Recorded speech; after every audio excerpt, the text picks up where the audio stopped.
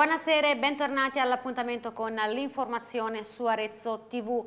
In apertura alla cronaca, questa mattina all'ospedale San Donato di Arezzo un'aggressione al personale amministrativo.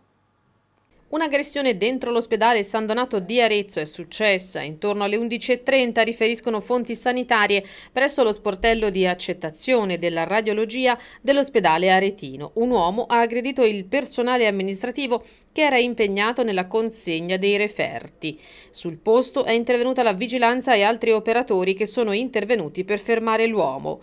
Quest'ultimo avrebbe prima inveito contro l'operatore che lo aveva invitato ad attendere e poi lo avrebbe aggredito fisicamente. Sul posto anche gli agenti della polizia del presidio ospedaliero che hanno preso le generalità dell'uomo. L'operatore aggredito è stato trasportato in pronto soccorso.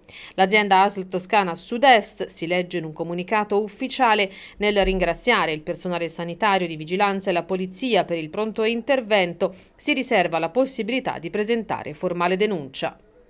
Numerose anche le aggressioni, soprattutto verbali, sui mezzi di trasporto pubblici. C'è bisogno di più controlli, secondo i sindacati che lanciano un appello al prefetto. Ultimamente un nostro dipendente di Autolinee Toscane ha avuto un'aggressione fisica ricevendo una testata in volto da una persona che chiedeva di prendere il bus anche senza biglietto e comunque già che il bus era ripartito ha bloccato il servizio ha eh, dato una testata in faccia al nostro conducente e non solo, non contento, i giorni seguenti è venuto a cercarlo nei, nei nostri posti di lavoro per eh, nuove rappresaglie. Questa è l'ultima aggressione in ordine di tempo denunciata dai sindacati dei trasporti pubblici nell'Aretino. Un altro episodio era accaduto in primavera, una donna controllore aggredita nel treno regionale che da Firenze arriva ad Arezzo. Le aggressioni fisiche sono indubbiamente gli episodi più gravi, ma non si tratta solo di questo. Si va dalla violenza verbale all'abbandono di siringhe fino al danneggiamento dei mezzi.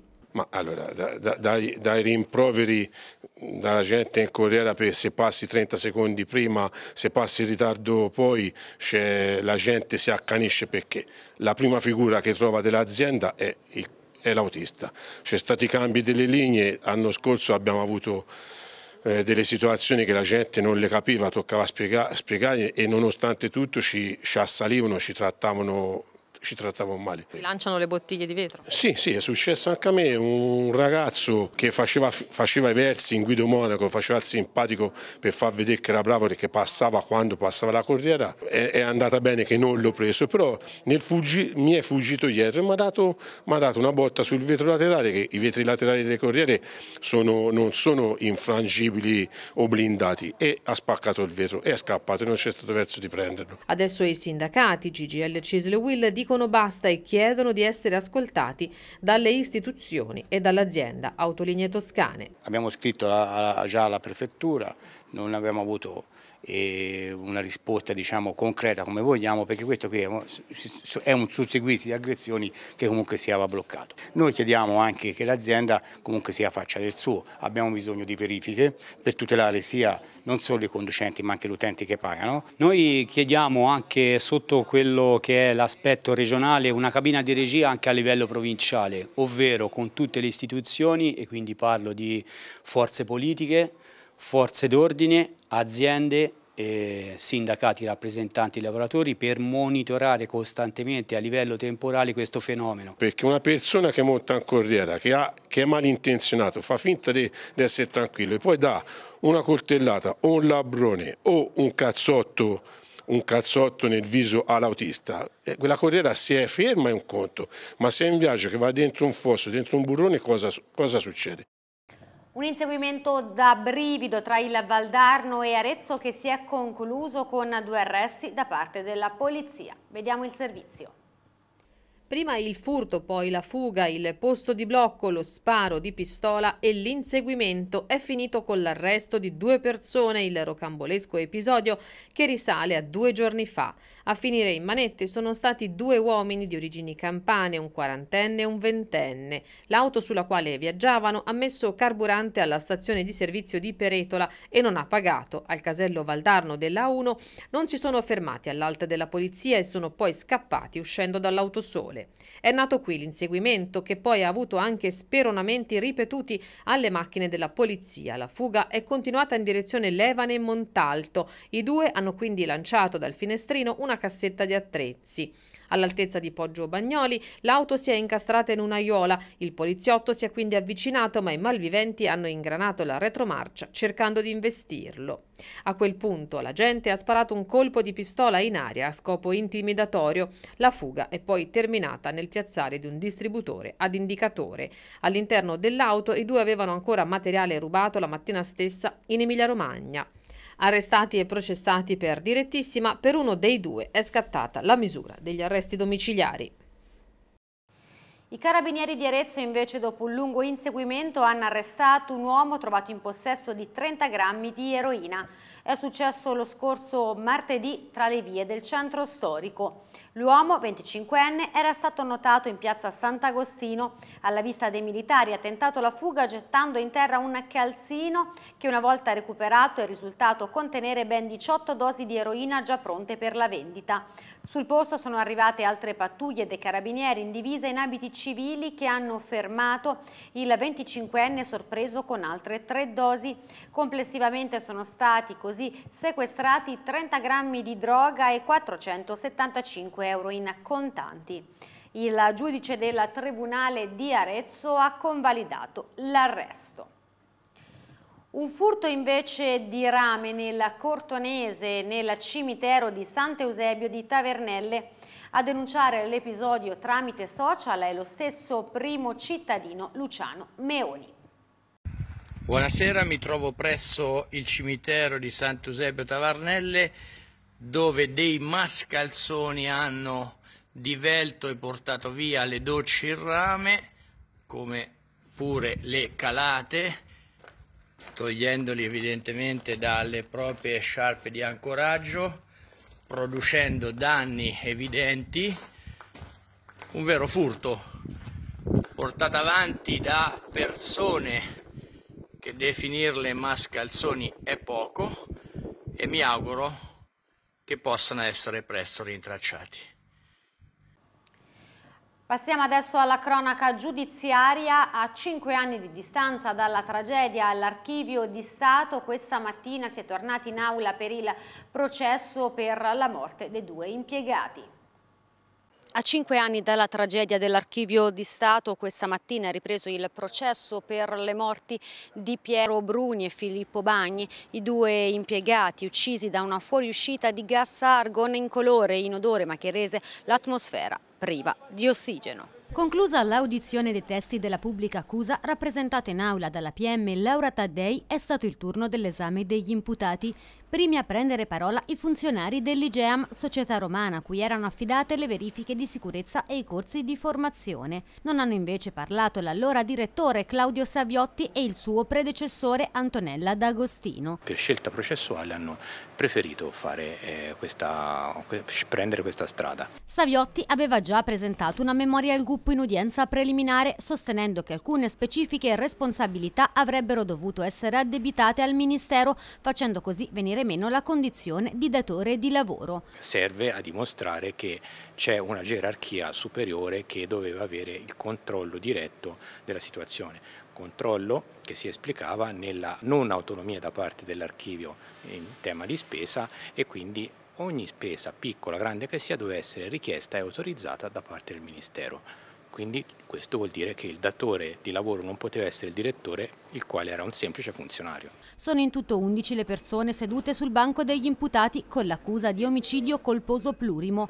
I consulenti della Procura nelle scorse udienze avevano sottolineato quelle che ritengono essere state le carenze dell'impianto antincendio che avrebbero causato il dramma, come la mancanza di una conduttura che portasse il gas di scarico all'esterno e il montaggio errato della valvola di rottura.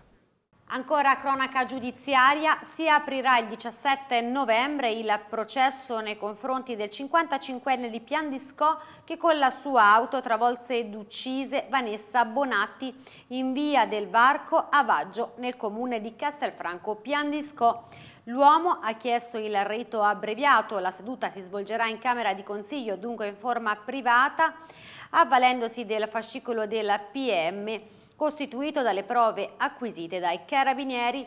La scelta del rito abbreviato comporta la diminuzione di un terzo della pena eventualmente inflitta dalla giovane. L'episodio risale allo scorso aprile. E restiamo in Valdarno, dove invece arrivano buone notizie per la IVV di San Giovanni.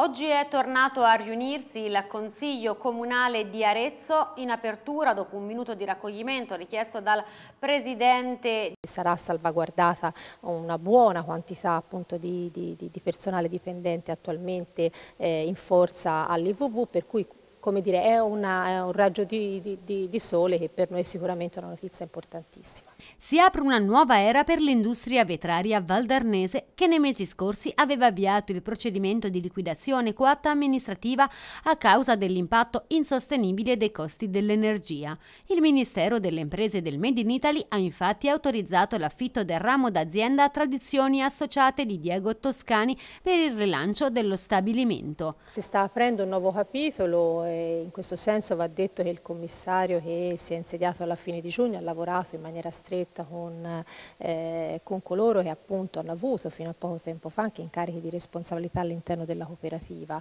Eh, poi, ed è una notizia di pochi giorni fa, il fatto che il Ministero ha dato il via all'affitto del ramo d'azienda, c'è un soggetto chiaramente che ha fatto una proposta e che poi sarà quello eh, che sarà, diventerà appunto protagonista di questa nuova avventura. Da informazioni che sono riuscita a mettere insieme e che ho poi comunicato in Consiglio Comunale un paio di giorni fa, eh, a inizio anno ci sarà molto probabilmente probabilmente l'inizio della nuova produzione. Il prossimo step sarà l'accordo che sarà firmato tra Ministero e tradizioni associate.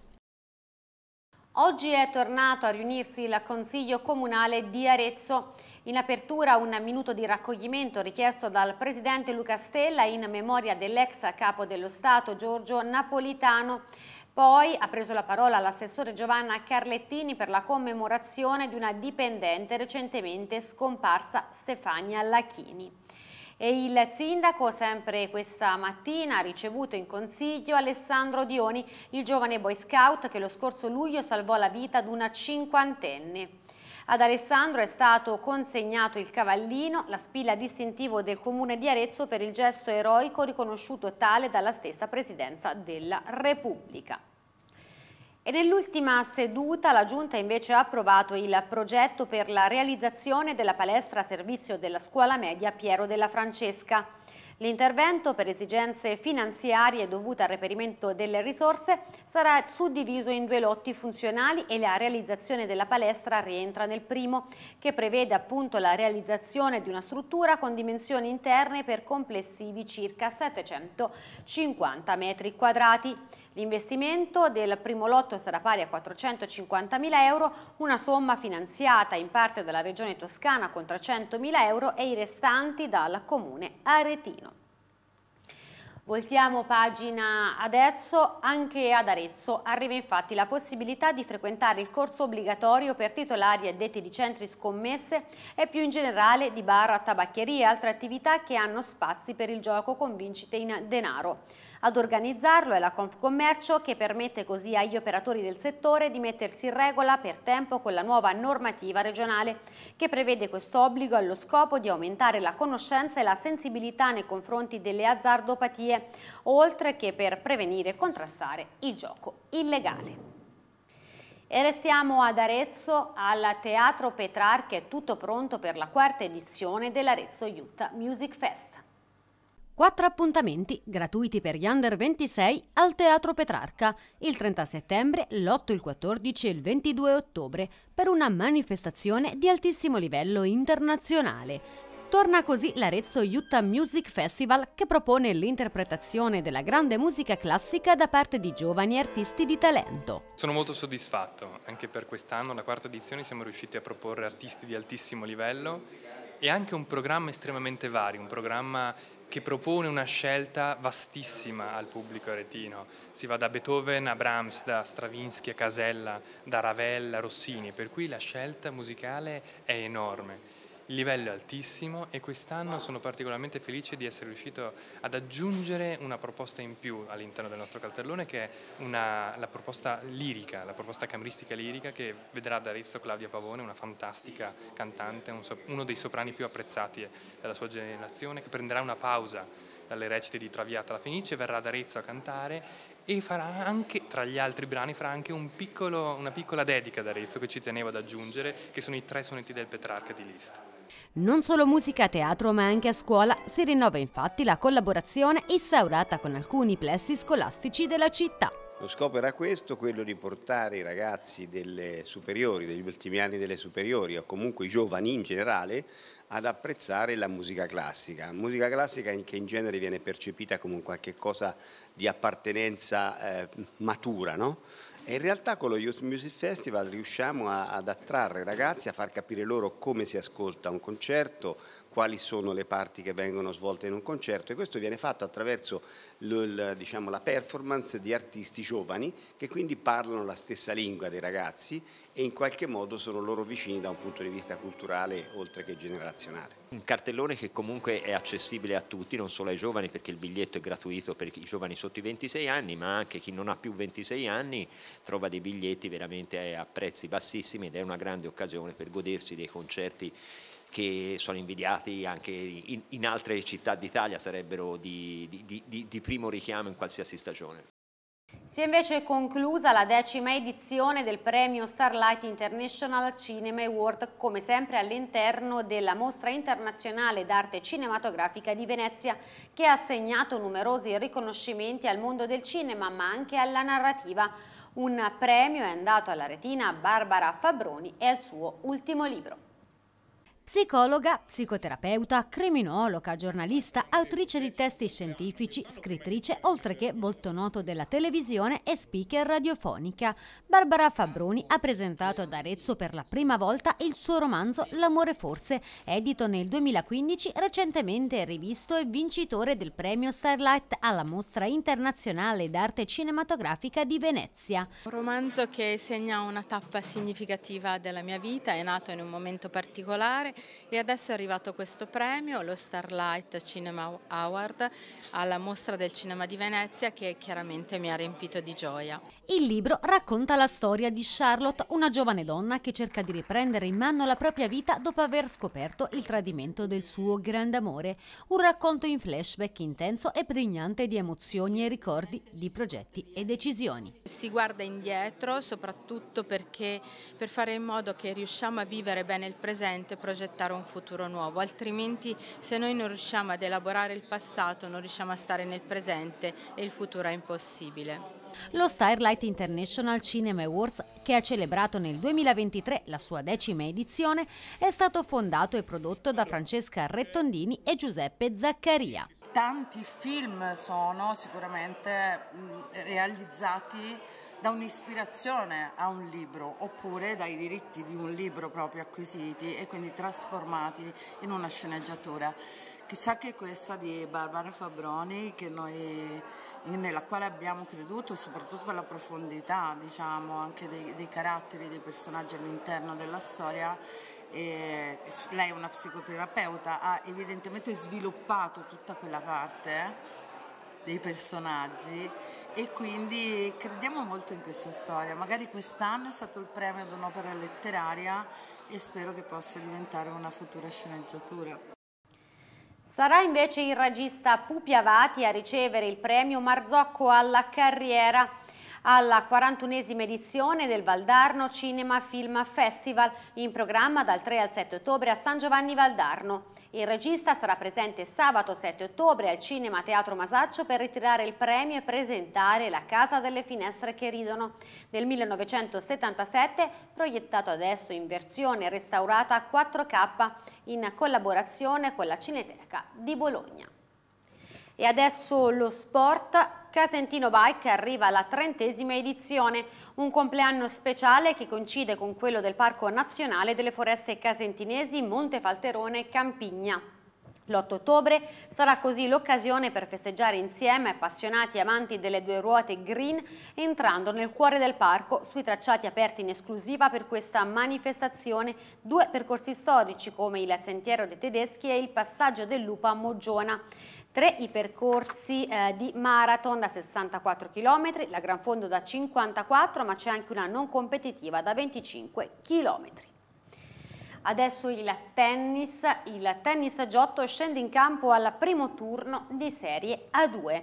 La prima squadra maschile del circolo aretino romperà il ghiaccio domenica 1 ottobre con una trasferta a Roma dove sfiderà il Ferratella Sporting Club in una sfida che segna l'atteso ritorno nel secondo più importante campionato nazionale di tennis. Questa per stasera era l'ultima notizia, vi ringrazio per l'attenzione, arrivederci.